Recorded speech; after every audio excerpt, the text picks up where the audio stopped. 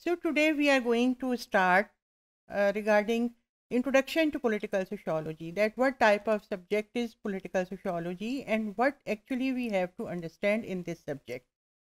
Political sociology आपकी और मेरी कहानी है सियासत के हवाले से माशरे के हवाले से कभी माशरे को समझ कर सियासत समझ में आती है और कभी सियासत को समझ के माशरा समझ में आता है तो political sociology uh, when we talk about the introduction to political sociology, then actually political sociology is relatively new field emerged in social sciences.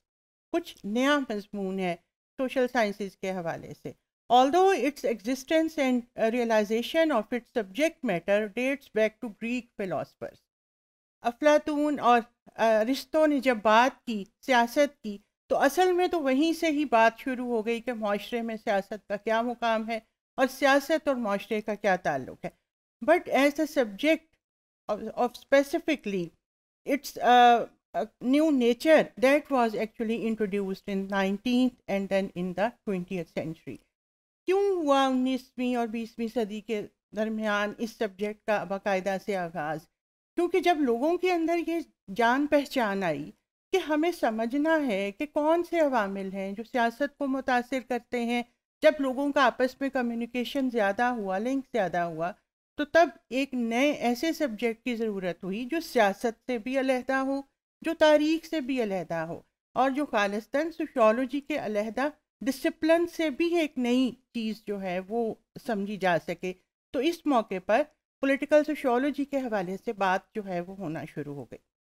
अब ख़ास तौर पर जो वर्ल्ड वॉर टू थी, इसने कुछ ऐसी दुनिया के अंदर डेवलपमेंट्स को इंट्रोड्यूस कराया when different philosophers they have produced their own perspectives their writings about the developments in the whole world so uh, uh, we can say that uh, after world war ii academically political sociology was basically introduced in the field of the academia and a new discipline rises which was named by the philosophers, by the uh, specialists as the subject of political sociology.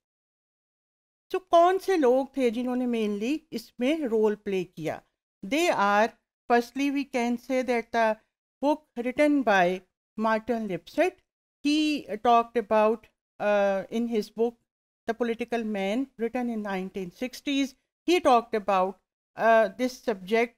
Then uh, William wrote in Who Rules America, they introduced new dimensions of uh, political sociology and they talked about a relationship of state and society. And then a very important book by William Gamson, he also talked about the developments of regarding this new subject. So all these writings, what they have done, what they actually introduced they focused on the social basis of power. So we all know that power is a very important component of state and society. Because what is power? Actually that who, who wants what, when and how. We all want something. We all want something in, in uh, actual time. जैसे आप कुछ ज़िंदगी में हासिल करना चाहते हो लेकिन कब हासिल करना चाहते हो जब आप समझते हो कि ये उसका अप्रोप्रिएट टाइम है। तो हर मुआरे के अंदर जो कॉन्फ्लिक्ट की बेस बनती है समटाइम्स वो क्लैश ऑफ़ इंटरेस्ट है और समटाइम वो क्लैश फॉर पावर है। तो हमें ये समझना है कि इस सब्जेक्ट के अंदर, ख़ास तौर पर पॉलिटिकल सोशोलॉजी के अंदर state structures and the process the outcomes of that structure तो क्या रिलेशनशिप बना मेरी बात का?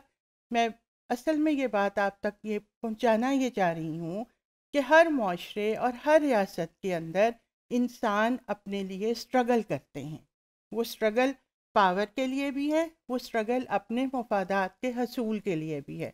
कहीं उनका आपस में टकराव हो जाता है, उनका क्लैश ऑफ़ इंटरेस्ट हो जाता है, कभी उस पावर के नतीजे में माशरे के अंदर बहुत सारे कॉन्फ्लिक्ट्स राइज करते हैं।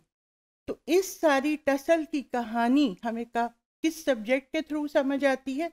बहुत से अलूम है, लेकिन पॉलिटिकल सोशियोलॉजी ख़ास तौर पर इंसानों को बताती है कि कौन से फैक्टर्स हैं, कौन से हकाइक हैं और कैसे इस सारी दास्तान को समझा जा सकता है।